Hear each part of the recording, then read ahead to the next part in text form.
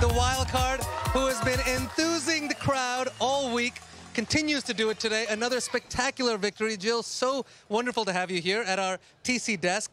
First, before anything, what is going through your mind right now? Um, I was just thinking that, like, what should I answer? I don't even know what to say, honestly. Um, it's just been an incredible week here. I've been feeling well since the beginning. Uh, I like the conditions. Uh, I feel fit. Uh, my game's, game is on. So yeah, I'm just I'm just feeling it. you had a big win earlier this year over Svitolina in Madrid. This week it's been Osaka, Bencic, now Pliskova, all just giant names in our in our sport.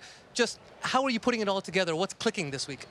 Um, just my my game uh, overall. Um, I've been I've had a very tough uh, last few months. Sorry.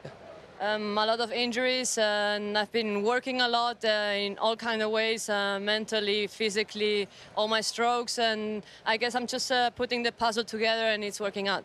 It's always tough when you go through injuries. Sometimes yeah. you get points of self-doubt and so forth. Has the belief always been there, or, or this is really helping with that? Um, if I'm honest, uh, I've had the worst months of my life. I'm not gonna tell you. I mean, I'm, I'm still young, so it's okay. You're very young. it's still okay. Um, but yeah, it's been tough. Uh, I guess uh, I would say the belief never left, but uh, I was really down. Uh, I have to say, but I mean, I just uh, looked at it as a, as a challenge, um, looking day for by day and here match by match, and now it's finally working when you when you have a life-changing week like this, which has just been so special. And by the way, thank you for taking us all on the ride, eh, getting the crowd involved. We feel like we've been on the ride with you.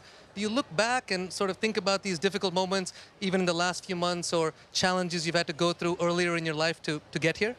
Yeah, definitely. I mean, it's not it's not even a month or two months uh, ago I, I, was crying, you know. So uh, right now I'm smiling all around. Um, I'm loving the the people around here. I'm loving the crowd, and it just reminds me why I play tennis. Uh, I guess uh, the main reason I play is uh, to play in, in, big stadiums against uh, good good players and just enjoy the show. Let's say, like I'll put it that way. That's a that's a beautiful thing to hear and a beautiful moment to witness you here. Now you talked about the big players and the big stadiums. Doesn't get any bigger. It's going to be a packed house tomorrow.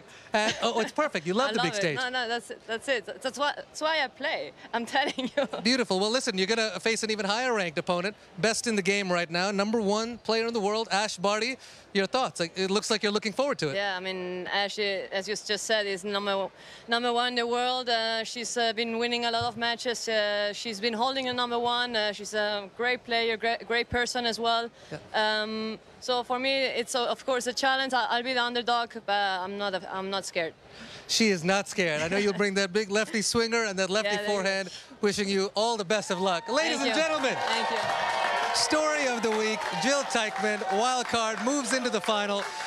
She will take on the number one player in the world, and she is up for the challenge. Stay around. Still a blockbuster men's semifinal coming up.